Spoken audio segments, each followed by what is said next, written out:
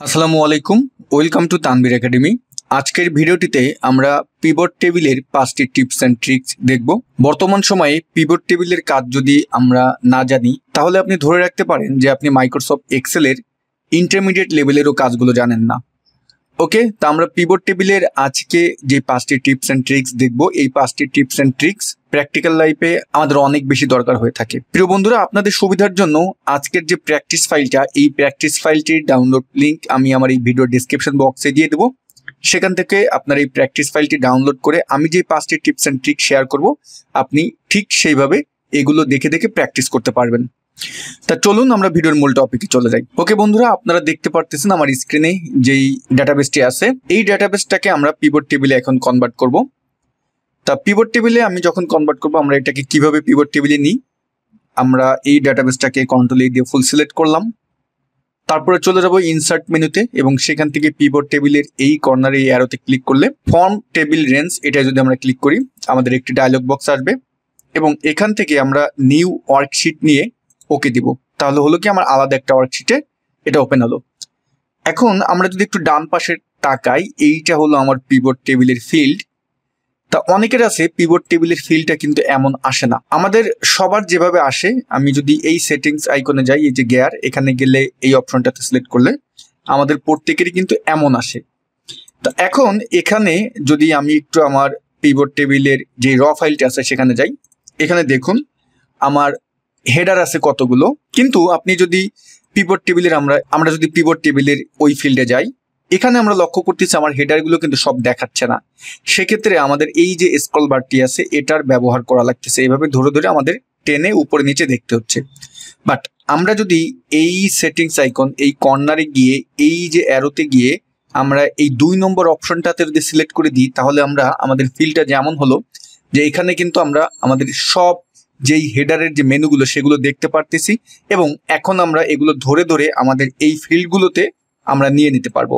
তা যারা pivot table related কাজ করে থাকেন, আশা করি তাদের জন্য এটা অনেক বেশি দরকার হবে। যেমন আমি যদি এখন দেখুন, এখান থেকে জোনটাকে নিলাম রোতে এবং এখান থেকে গ্রান্ড টোটাল নিলাম ভ্যালুসে আমি সুন্দরভাবে সব দেখে দেখে কাজটা করতে পারতেছি। এখন দেখব পিভট টেবিলের দ্বিতীয় টিপসটি তা দ্বিতীয় টিপসটি হলো যে আমি আমার এই যে র ফাইল আছে, এখান থেকে তো আমি এটাকে পিভট টেবিলে কনভার্ট করলাম পিভট টেবিল তৈরি করলাম এবং এখানে এনে আমি কি করলাম? জোনটাকে রোসে রাখলাম এবং গ্রান্ড টোটাল রাখলাম।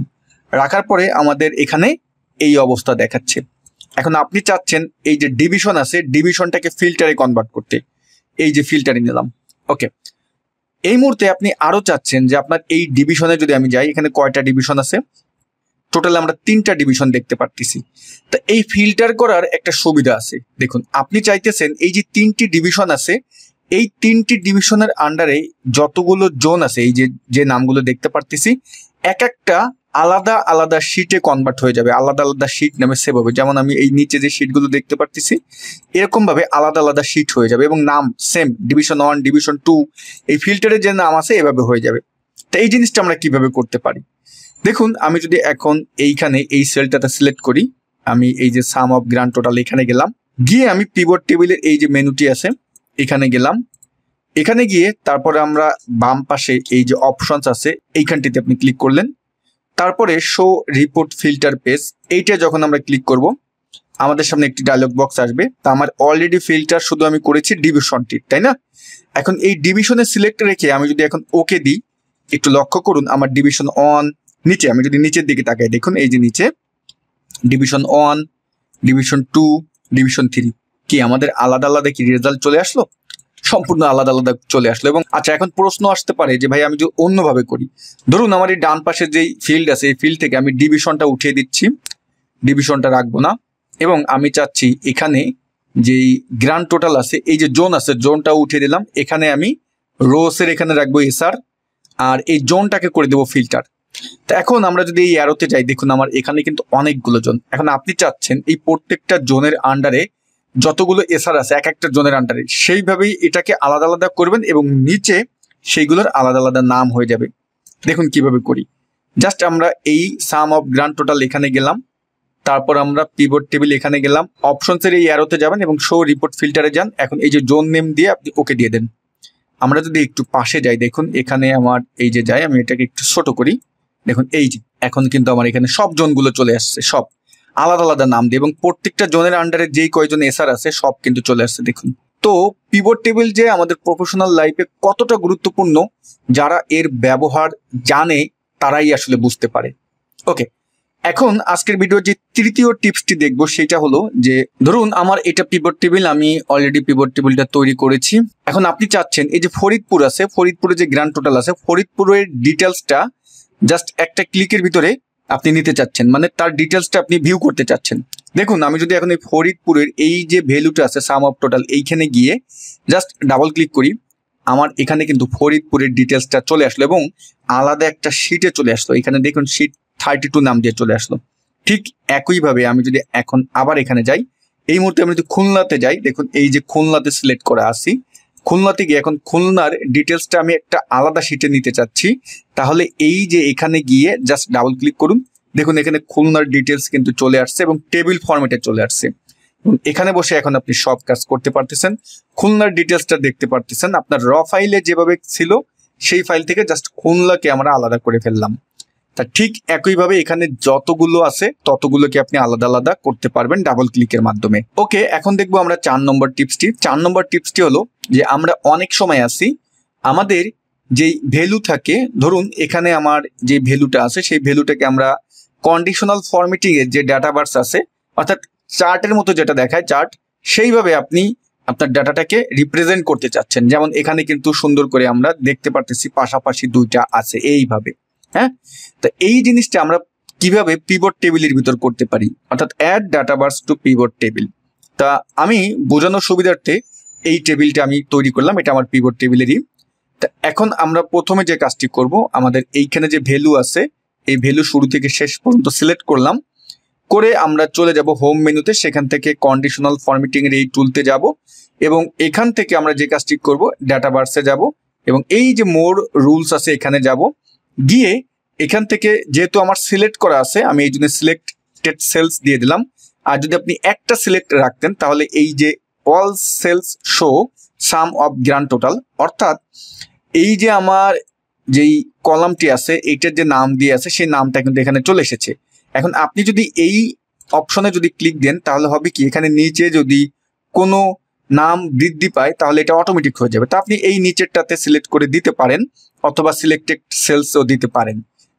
এখন আমরা ধরুন আমি সিলেক্টেড সেলস দিলাম, দিয়ে আমি ফরম্যাট স্টাইলে গিয়ে এই যে শো বার অনলি আপনি এখানে শুধুমাত্র আমরা শো বার অনলি দেখতে চাচ্ছি মানে আমরা ভ্যালু দেখতে চাচ্ছি না, শুধু বার দেখতে চাচ্ছি ডাটা বারটা আর এইখান থেকে সলিড ফিল বা গ্রিডিয়ান ফিল দিতে পারেন, আপনার যেটা ভালো লাগবে, তো আমি একটা সলিড ফিল দিলাম, এবং এখান থেকে আমি একটা কালার এই কালারটি দিয়ে দিলাম। এখন যদি আমি ওকে দিই, দেখুন, আমার এইখানে কিন্তু ভ্যালুর কি কি হয়েছে? আমার এখানে কিন্তু ভ্যালু নেই। বাট ভ্যালু মোতাবেক আমার কিন্তু কি হলো? ডাটাবাসটা চলে এসেছে। কিন্তু আমি তো এখন ভ্যালু দেখতে চাচ্ছি। এই ক্ষেত্রে যে কাজটি আবার করব, আমরা ডান পাশে ফিল্ডে চলে আসব এবং এবং এই যে গ্র্যান্ড টোটাল আছে, গ্র্যান্ড টোটালকে ধরে আমরা ভ্যালুসের এখানে নিলাম। তো আমরা এখানে দেখতে পারতেছি যে আমার এই দুটো পাশাপাশি নাই। আমি এটাকে চাচ্ছি এখানে আর এটাকে চাচ্ছি এখানে। তাহলে এই ভ্যালুস এই যে এখানে আসেন এখানে এসে আমরা যেটা করব যে এই যে value of grand total to এটাকে ধরে এই পাশে এনে দেন, উপরে এনে দিলাম। এখন দেখেন দুটো পাশাপাশি দেখাচ্ছে। এই মুহূর্তে আমার এই উপরে সাম অফ গ্র্যান্ড টোটাল এখানে আপনি কিছু লিখে দিতে পারেন যে এটা ডাটাবার্স এভাবে লিখে দিতে পারেন। এখন দেখতে কিন্তু অনেকটা সুন্দর লাগতেছে। পাশাপাশি বোঝা যাচ্ছে যে কোন ভ্যালুটা কেমন এবং ডাটাবার্স আমরা কিন্তু সুন্দরভাবে অ্যানালাইসিস করতে পারতেছি ডাটাবার্সের মাধ্যমে। তা এটা ছিল আজকের ভিডিও চার নম্বর টিপস এখন দেখব আজকের ভিডিওর পিবোর্ড টেবিলের সর্বশেষ টিপসটি আমরা ধারাবাহিকভাবে পিবোর্ড টেবিল নিয়ে টিউটোরিয়াল দেব এবং পিবোর্ড টেবিলের টিপস অ্যান্ড ট্রিক্সগুলো শেয়ার করব, যদি আপনারা আমাদের সাথে সবসময় থাকুন। এখন যেই টিপসটি দেখব, আমি ধরুন এখান থেকে এই গ্র্যান্ড টোটালটি আমি এইটা উঠিয়ে দিই, উঠিয়ে দিলাম, আর এখানে এসে জাস্ট গ্র্যান্ড টোটালটা আমি নামালাম। এই মুহূর্তে আমার পিবোর্ড টেবিলটা এভাবে আসে এখন আপনি চাচ্ছেন এইখানে যে গ্র্যান্ড টোটাল যে ভ্যালু আছে, এই ভ্যালুর প্রত্যেককে আপনি পনেরো পার্সেন্ট করে ইনসেন্টিভ দিবেন, অর্থাৎ কমিশন দিবেন। তা এই যে কমিশনটা এটা এখন আমরা কীভাবে করব?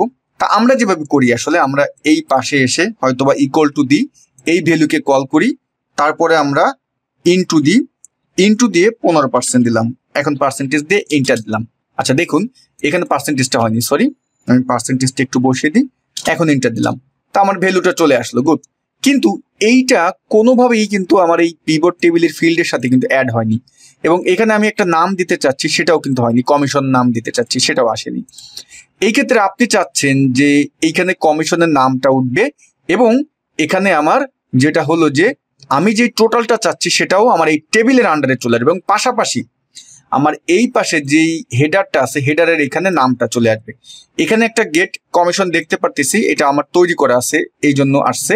কিন্তু আমরা নতুন একটা তৈরি করব। তা আমরা এটা কীভাবে করব? যদি আপনি একটু দেখেন, তাহলে বিষয়টা আরও বুঝতে পারবেন। তা আমি এইখানে আসি। এই ফিল্ডটিতে আমি ক্লিক করে চলে যাব পিবোর্ড টেবিলের এখানে এবং ডান পাশে দেখবেন, এই যে ফিল্ড আইটেমস শিটস এখানের এই অ্যারোতে যাবেন ক্রিয়েট ফিল্ডে যাবেন, একটি ডায়লগ বক্স আসবে। এখন এখানের যেই হেডারটা থাকবে, এটার নাম দিবেন কি আপনি? আমি ধরেন নাম দিব যে ইনসেন্টিভ দিলাম। ওকে, এখন ফর্মুলা এখানে কি দিতে চাচ্ছেন? কার আপনি এখানে ইনসেন্টিভ বের করবেন? কত পার্সেন্ট দিবেন? আমি করতে চাচ্ছি যে সাম অফ গ্রান্ড টোটাল এইটার। তাহলে এই যে ফিল্ডস আছে, এখানের এইখান থেকে আমরা নিচে নামলাম। এই যে গ্রান্ড টোটাল আছে, এই গ্রান্ড টোটালে চাচ্ছি। গ্রান্ড টোটালকে ডাবল ক্লিক করুন। এখানে দেখবেন এই যে ফর্মুলার এখানে কিন্তু এটা চলে এসেছে। ওকে এখন আপনি কি করতে চাচ্ছেন গ্রান্ড টোটালের আমরা চাচ্ছি গ্রান্ড টোটালের ইনটু যে দশ পার্সেন্ট কমিশন পাবে, দশ পার্সেন্ট দিয়ে দিলাম। এখানে এই যে অ্যাডে ক্লিক করেন, তারপরে ওকেতে ক্লিক করেন। এখন দেখুন, এখানে কিন্তু ইনসেন্টিভ চলে এসেছে। পাশাপাশি আমার এই পাশে যে পিবোর্ড টেবিলের ফিল্ডস আছে, এখানে দেখুন এই যে ইনসেন্টিভ কিন্তু এখানে সুন্দর করে আমরা দেখতে পারতেছি। অর্থাৎ এই জিনিসটা হলো যে আপনার যে পিবোর্ড টেবিলটা থাকবে, সেখানে কীভাবে আপনি আলাদা ক্যালকুলেট ফিল্ডস ওপেন করবেন এবং সেটা অটোমেটিক আপনার যেই টেবিলটা থাকবে টেবিলের যে ফিল্ডস থাকবে, সেখানে জয়েন হয়ে যাবে। তো ডিয়ার ভিউয়ার্স আজকের ভিডিওটিতে আমরা পিবোর্ড টেবিলের পাঁচটি টিপস অ্যান্ড ট্রিক্স দেখলাম। আশা করি এই পাঁচটি টিপস অ্যান্ড ট্রিক্স আপনার প্রফেশনাল লাইফে অনেক বেশি দরকার হবে। তা যদি ভিডিওটি আপনার উপকারে এসে থাকে, একটি লাইক দিবেন, আপনার মূল্যবান মতামতটি জানাতে ভুলবেন না। সবাই ভালো থাকবেন। আল্লাহ হাফেজ।